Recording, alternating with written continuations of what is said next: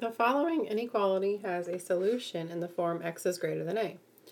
Solve the inequality and place the correct value of a into the box. So we have 6 less than 10x plus 13.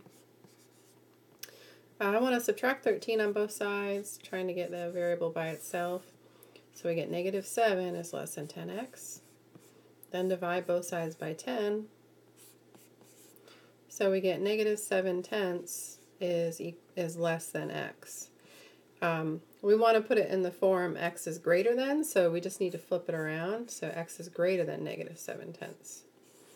So in the box, we would just put negative 7 over 10.